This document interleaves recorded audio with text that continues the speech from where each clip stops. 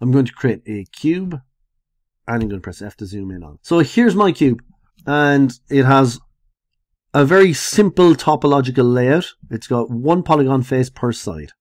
If I was to hit 3 on this, it turns into a rounded shape. It's trying to interpolate between all of the vertice corners and it rounds out the shape.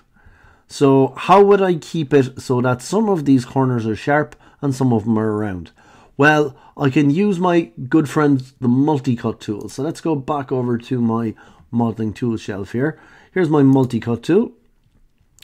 And if I was to put a cut running all the way around the near the top here, and I'm going to do that by holding the control key down.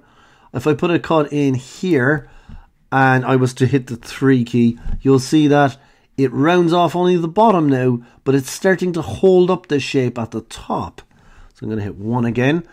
And if I was to put in another cut by holding the control key, and I'm going to hold up this corner right here, and I'm going to do the same thing on the other side. I'll put a cut just over there and I hit 3. Now it's starting to hold up those verticals running into this corner here and we're getting a sharper corner here but it's still quite rounded at the bottom so that gives me a lot of control now let's try the following I'm going to go to I'm going to hit W I'm going to go into edge mode and I'm going to and I could do that over here as well and I'm going to double click this edge and it selects the loop the entire way around so that's very, very handy. I don't have to do the following. I don't have to click here and then hold shift and click all and then orbit all the way around and click, click, click. That would be way too much work. Because I'm using all quads, Maya will follow along this edge as far as it can. So it will traverse these edges.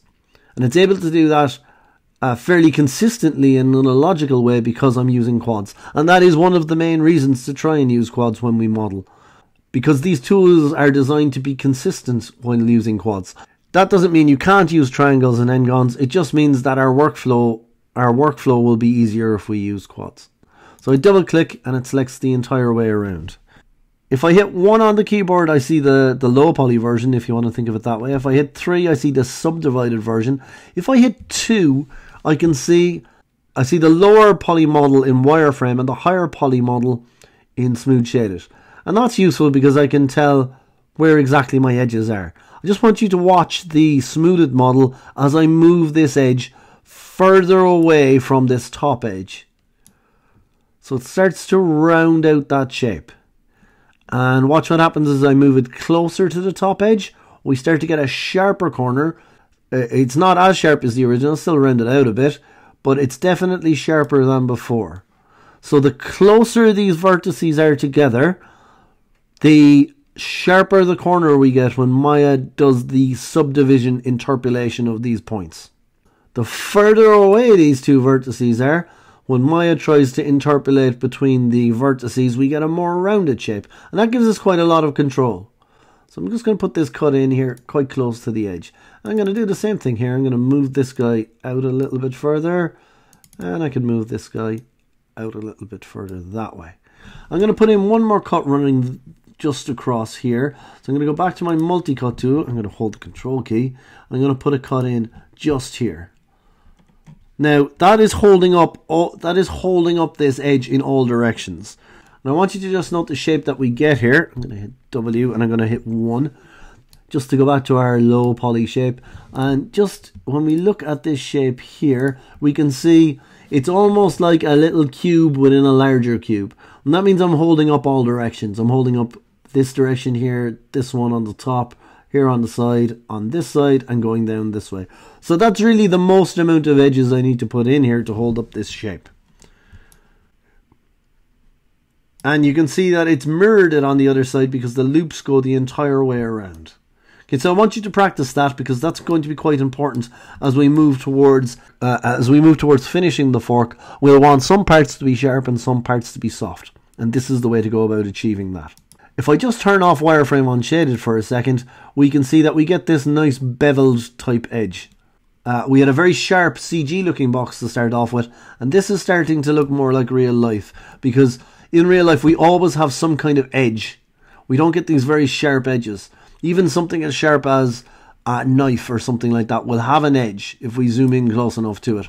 So to mirror that, we have to put in some extra detail, which is these extra faces here. Now, keep in mind our mantra that I said at the start of this video, which is I want to use the least amount of polygons possible. So I'm only going to put in these supporting edge loops at the very end of the process because I don't want to have to manage them. I'm going to delete that now. I'm going to bring back up my fork.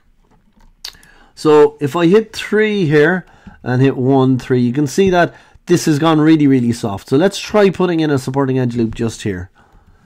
And I'm just going to put in one or two just to, to, to show the process. I'm going to save all the rest of the supporting edge loops towards the very end of the process because I don't want to have to manage all those extra polygons. But I am going to put in a cut just here now just to demonstrate. So I'm going to go back over to my multi-cut tool. I'm going to hold the control key down and I'm going to put a loop going that way. And let's see what that looks like. And that's holding up that edge a little bit better there. I'm going to put another loop running around here and let's see what that looks like. That's holding it up a lot better. So that is starting to hold up that shape a little bit better. Now it's still a bit too soft but it's fine for just now. I could in theory do the same thing up here to try and sharpen up some of these edges but like I said I want to wait until the very end to do all that. So that's a good example of how we can hold up some of our edges to be sharper or softer